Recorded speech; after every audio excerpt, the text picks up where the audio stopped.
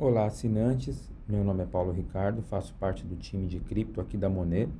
E hoje, nesse tutorial, eu vou trazer aqui para vocês é, quais aí os primeiros passos que são necessários né, para que a gente venha a explorar um pouco mais o marketplace, o OpenSea, né, o marketplace de NFTs. Vou mostrar para vocês aí como que é fácil né, a conexão da nossa wallet diretamente aqui na plataforma e com isso é, deixar aí a nossa, nossa carteira apta né, e configurada para comprar e procurar os NFTs aqui na, no marketplace da OpenSea. Então, primeiramente, o que, que é importante é, a gente aí fazer? É, conectar diretamente ao site, né, OpenSea.io. E o processo de conexão das nossas carteiras é basicamente o mesmo é, que nós realizamos aí nas plataformas DeFi. Por exemplo, aqui ao lado direito eu tenho a minha carteira MetaMask. Essa é uma carteira específica para comprar NFTs. Então eu já tenho a minha carteira devidamente cadastrada, né, configurada toda a parte de segurança aí realizada. E o que, que nós é, inicialmente pretendemos fazer aqui? É, ao lado direito nós temos essa opção aqui de carteira, né? Esse desenho aqui, esse login de carteira. E aqui, para quem ainda não conectou, no caso eu vou desconectar a minha carteira. E para vocês aí inicialmente que vão estar visualizando esse tutorial, é, nós voltaremos aqui novamente nesse logo de carteira, né, nesse símbolo, e vai aparecer para nós aqui as opções que nós vamos utilizar para conectar. Então, é, a mais utilizada no momento é a MetaMask, então seleciono ela aqui ao lado. Nesse meu caso, como eu já tenho acesso à, à plataforma, ele já verifica aqui o meu login, né, o meu nome de usuário, o saldo que eu tenho na carteira. Então eu já, já tenho aqui a minha conexão ok, o endereço do meu o endereço da minha carteira vinculado à plataforma. Isso já identifica aqui que eu estou logado no próprio marketplace. O passo inicial para quem vai aí realizar o primeiro acesso é o seguinte: é, após a conexão da carteira, nós é, acessamos aqui o menu flutuante na parte de perfil, né, profile.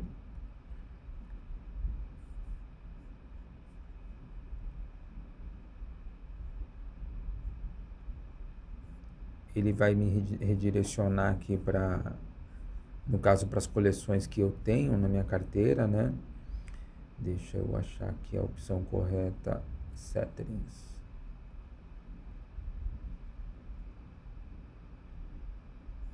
Certo? Então, é, o primeiro acesso ele é necessário é, ser realizado e, obviamente, após é, esse passo de conexão da nossa carteira, é, nós temos que vir aqui para a parte de profile e criar aqui o nosso nome de usuário, conforme eu coloquei aqui, colocar aqui também o endereço de e-mail, é importante deixar isso vinculado na conta da OpenSea, e aqui também a nossa carteira já vai estar tá registrada, né? Devido à nossa conexão com a, com a carteira, com a MetaMask. Então, os passos básicos iniciais são esses, né? Para a gente conectar nossa carteira da MetaMask e eventualmente vir aqui no profile, colocar os nossos dados, preencher com o nosso e-mail e aí ter a possibilidade de voltar para a página inicial do Marketplace e explorar aí todas as coleções e o que a plataforma tem a, a nos oferecer. E um, uma dica bem legal a respeito disso é que, descendo a página, nós é, podemos visualizar de cara as coleções que estão em evidência nesse momento, né, disponíveis aí para compra. E aqui embaixo também dá um parâmetro para nós para que a gente possa é, verificar quais aquelas coleções que estão sendo mais negociadas aí nas últimas 24 horas. Então, se de repente a pessoa não tem aí um, um NFT é, específico para que ela possa procurar, nós, através desse, é, desse menu, vamos dizer assim, né, dessa parte aqui do site, vai estar listado para a gente aqui as coleções aí que tiveram maior volume de negociação. Então, como exemplo, eu vou até mesmo utilizar aqui o mais conhecido, né, que são aqueles NFTs dos mutantes, os Body Apes, né?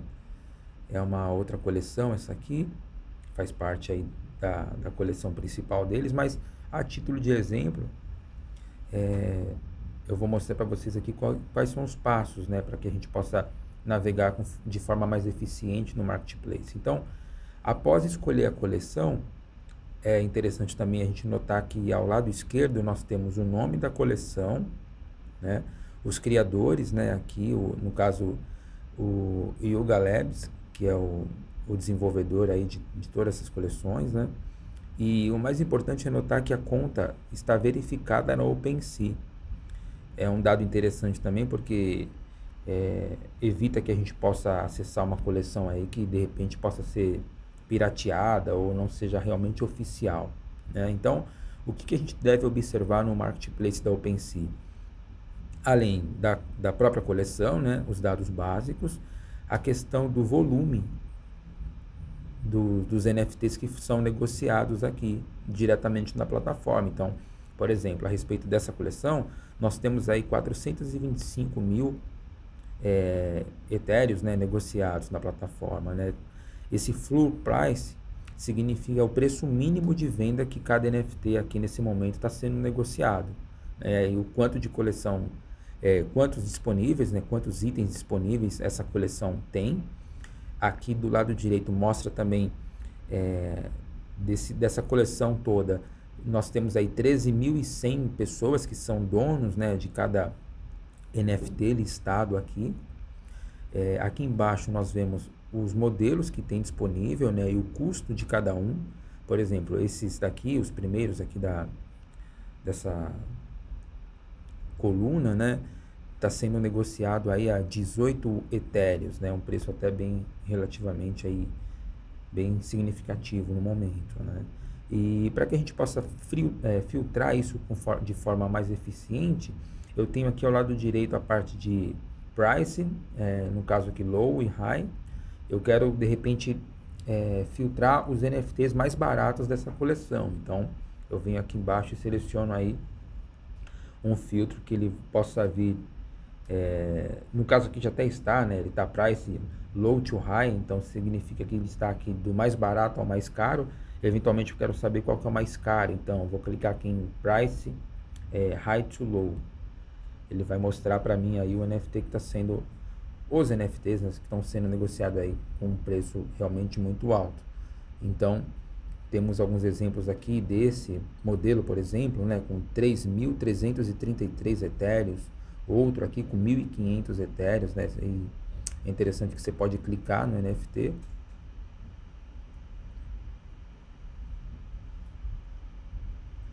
E aqui nós vamos ter aí é, mais algumas informações a respeito desse, desse modelo, né? Relacionado ao preço, o valor em dólares, a quantidade de Ethereum.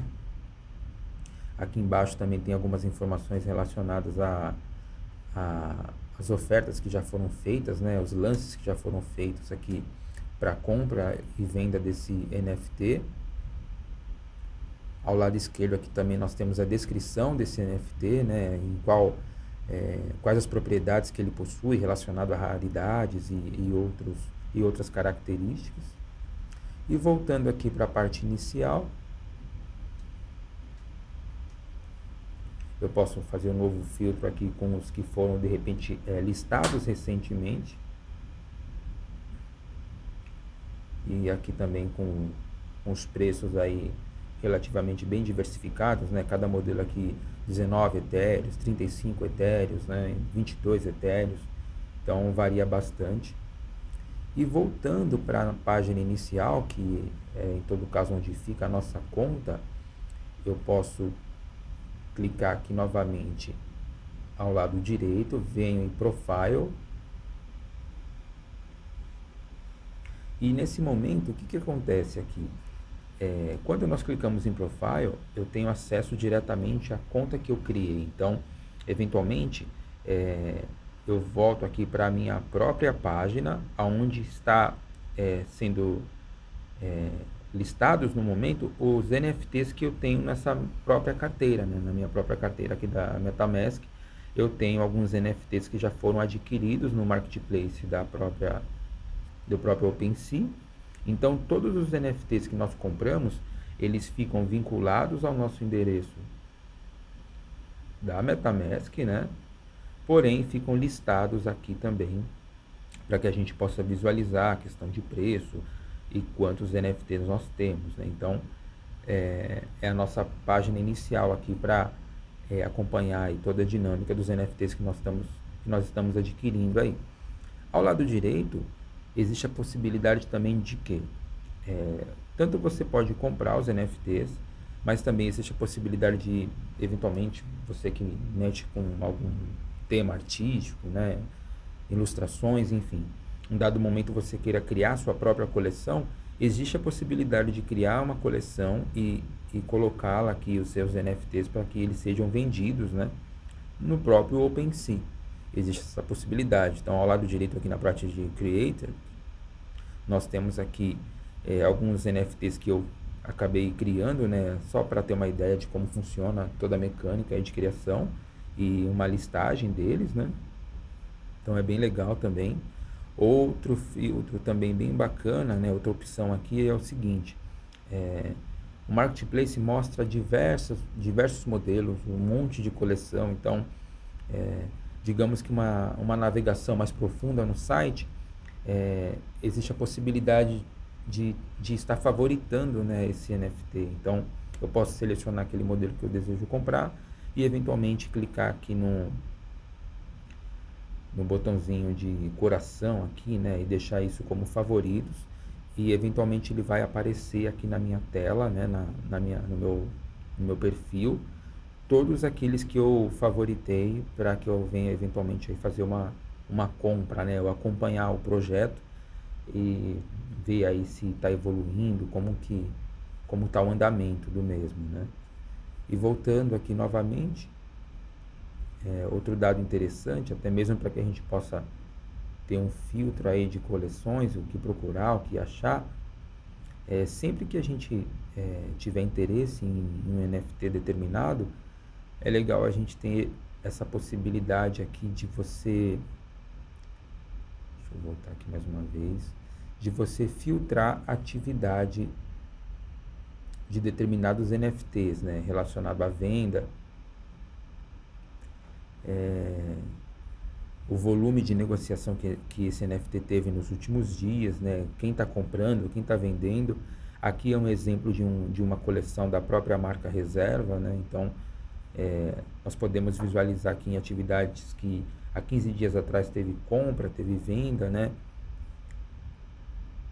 Nesse caso especificamente mostra a atividade da, da minha própria coleção, né? O, os, os NFTs que eu recentemente adquiri e os preços que esses NFTs foram negociados. Aí para entender como funciona a dinâmica de negociação dos NFTs e as negociações diretamente do, da plataforma oficial deles, por exemplo, voltando aqui com, com a coleção da própria reserva em si, nós temos 64 etéreos negociados, né? E clicando aqui na parte de atividades, eu vou entender que o fluxo de venda, né, de negociação dessa coleção como está e aqui no caso nos últimos 90 dias. Eu posso fazer um outro filtro aqui com 14 dias então a gente consegue acompanhar toda essa curva aqui, né? Ele teve uma queda, voltou a subir e eventualmente aqui está num, tá num pico de negociação, né? E aqui embaixo eu consigo ver os valores que foram negociados nas últimas 19 horas, 7 dias. Nós conseguimos aí acompanhar toda a dinâmica de compra e venda dos NFTs na plataforma. Então, dando continuidade aqui no tutorial, é, referente ao que já falamos aqui sobre toda essa dinâmica do próprio OpenSea, né, relacionado à exposição dos NFTs, como pesquisar, o que verificar na plataforma, né, tanto na questão de atividade dos, da, do próprio fluxo de compra e venda dos NFTs, eu vou demonstrar aqui para vocês como é feito agora a compra de um NFT. Né? Então, eu vou selecionar aqui uma coleção específica, só a título de exemplo. É, por exemplo, eu estou aqui nessa coleção, é uma coleção verificada né, da, da NBA, e aqui eu consigo enxergar quantos é, Ethereums aí foram negociados, né, conforme expliquei. E aqui eu vou escolher um NFT, né, uma, um, um modelo qualquer, vou clicar em Buy Now. Nesse momento ele me, me, me redireciona para essa tela de checkout. Aqui ele me mostra é, o modelo do NFT que eu estou comprando, né, a, o código desse NFT. É, geralmente aqui os criadores dos NFTs, eles ganham aí 10% da taxa né, de, de venda dos próprios NFTs no marketplace. E aqui neste caso eu tenho o valor que eu estarei pagando aqui, tanto em frações de Ethereum e também o valor em dólares. Lembrando que é, após esse procedimento, eu vou clicar em checkout. É, obviamente aqui ele me mostra uma mensagem é, dizendo que eu tenho que transferir mais saldo para completar essa transação, porque também eu tenho um valor do NFT a ser pago e também a taxa de transação da rede, onde, consequentemente, é, a próxima etapa é vir aqui para a carteira MetaMask e concluir por aqui o processo de compra do meu NFT. Eu já sei o valor que eu, que eu estarei pagando, né? E, consequentemente, aqui eu vou aprovar juntamente com o valor da taxa de rede. Então, nós temos o valor pago pelo NFT e acrescentando aí também o valor que sempre é cobrado toda vez que, que nós realizamos aí uma transação via blockchain do próprio Ethereum. Então essa taxa ela, ela é dinâmica, né? muda. É, então é algo que em todo caso aí nós só saberemos mesmo na hora né? que for efetuado a compra. E feito esse processo de compra, é, e vai ser, vai ser preciso, né, na verdade, é, o NFT que nós adquirirmos aí vai estar listado aqui na nossa própria conta junto com os outros aí que, que foram adquiridos recentemente, né? Então, todos os NFTs que nós adquirimos na plataforma da OpenSea, após a compra, eles ficam aqui na plataforma, porém sempre vinculado ao nosso endereço de carteira. Eventualmente também existe a possibilidade de transferir esse NFT para uma outra carteira, para uma outra pessoa, enfim, existe aí também essas possibilidades. E consequentemente, após você ter comprado um NFT em um dado momento é, achar que, que existe a possibilidade de vendê-lo, até mesmo para ter um lucro em cima dessa compra, também é muito simples de executar essa ação. Vou pegar a título de exemplo esse modelo aqui. E nesse momento, ele está sendo cotado a 0,29 frações de Ethereum, né? a um preço em dólares aí de 354 dólares. Existe a possibilidade de ofertar, né? de colocar esse NFT à venda é, um preço superior a, ao preço que eu paguei. Então, um a título de exemplo, se eu paguei 0.2 etéreos nesse NFT, eu posso aqui colocar um valor, por exemplo, de 0.4, tentando o que? Vendê-lo com preço maior, né, daquilo que eu comprei, e evidentemente é, acrescentando também a taxa de serviço, tanto do criador como do próprio OpenSea. É muito interessante ter, é, ficar atentos a isso, porque às vezes a, a, pessoa vende um NFT, mas ela esquece de acrescentar os valores em cima, né?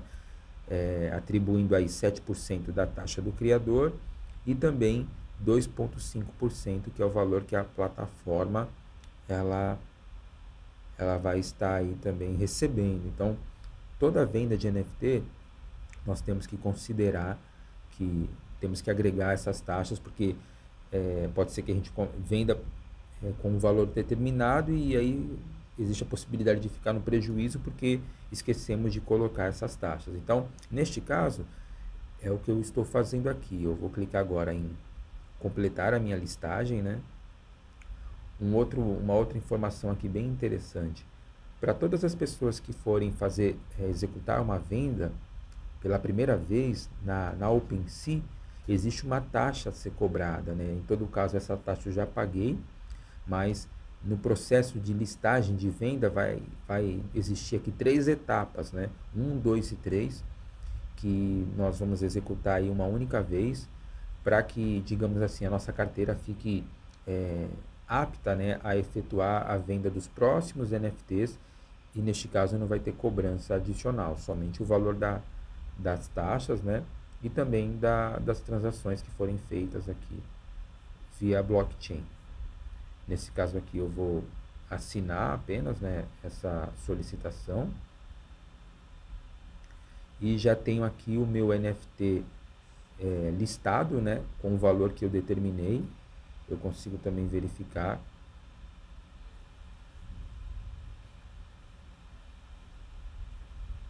Aqui embaixo fica também a, as referências né, de, de listagens do, dos NFTs.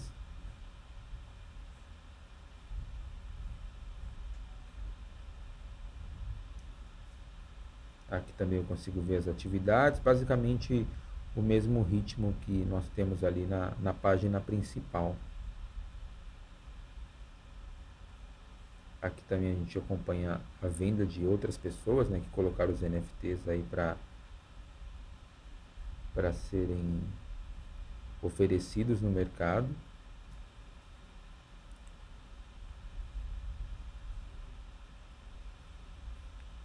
Aqui, em todo caso, eu consigo até mesmo visualizar esse NFT que eu acabei de listar para venda, né? a fração, o valor em dólar. Aqui também um período que essa venda vai ficar, é, em, digamos que em oferta aqui na plataforma. Existe a possibilidade de deixar uma venda de uma NFT durante 7 dias, 15 dias, até mesmo um mês. Nesse caso aqui eu coloquei é, a venda para ficar exposto durante 30 dias, né? Então a gente tem um contador aqui.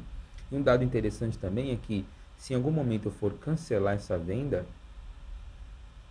eu estarei aí também tendo que pagar uma taxa referente à transação. Então, ah, eu me arrependi, não quero vender, ou preciso colocar um preço mais alto. Eu vou cancelar essa oferta e vou, em todo caso, estar pagando aqui a taxa referente a transação na rede. Então, quanto mais objetivo for a nossa venda do, do NFT, evita que a gente possa estar, em todo caso, aí fazendo correções. Vou rejeitar aqui, em todo caso, foi um exemplo. E voltar aqui para a página inicial da OpenSea, encerrando mais esse tutorial aqui sobre como comprar NFTs na plataforma, né, uma, um dos marketplaces aí com maior volume de negociações de NFTs do mercado. Eu fico por aqui então. Hum, espero que vocês tenham gostado e até a próxima.